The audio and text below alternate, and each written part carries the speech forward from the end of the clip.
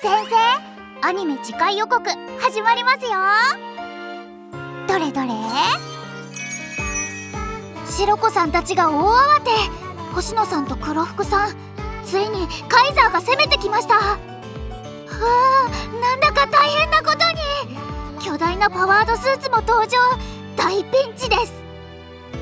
次回第10話。唯一意味のある場所。やっぱりロボはロマンですね。いかがでしたか？